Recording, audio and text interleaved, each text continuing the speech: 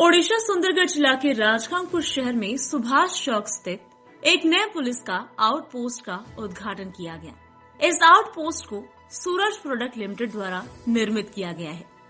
आपको बता दें कि सुभाष चौक, जो राजगांगपुर शहर का मुख्य चौराहा है, जहाँ पुलिस की हर संभव आवश्यकता थी, जिसको देखते हुए सूरज प्रोडक्ट लिमिटेड की तरफ़ से एक आउटपोस्ट का निर्माण कर आज प्रशासन के समक्ष आम आदमी की सुरक्षा हेतु उद्घाटित किया गया जिसकी सराहना राजगांगपुर के शहरवासियों द्वारा की जा रही है। अब देखना ये होगा कि इस आउटपोस्ट के उद्घाटन होने के बाद शहर की समस्या पर पुलिस किस तरह से नज़र रखती है। नहीं वो ये एक social service point of view से अगर कोई आ, हमारे जो जो आइन श्रृंखला का जो भी है उसको अगर कोई बेटर करना चाहता है कोई अगर उसको हेल्प करना चाहते हो तो एक वेलकम सिग्नल है। यहाँ पे जो सुभाष चौक है, वो बस पूरा राजगांवपुर का उसको हार्ट ऑफ़ द टाउन कहा जाता है।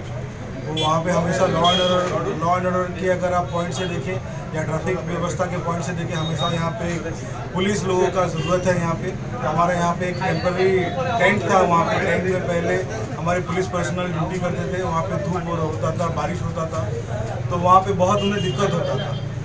तो अभी उनको एक सुविधा मिलेगा, वो भी आराम से मतलब ड्यूटी कर पाएँगे बेटर लोगों को सर्विस दे पाएँगे। लोग यहाँ पे पहले एक ऑफिसर नहीं बैठते थे, बस कंस्टेबल बैठते थे। यहाँ पे कौन सा, अभी एक ऑफिसर बैठेगा प्रॉपर डायरी मेंटेन होगा।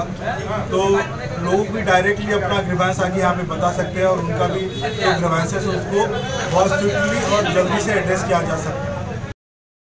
संवाददाता राम प्रेस चौधरी वी न्यूज़ ओडिशा।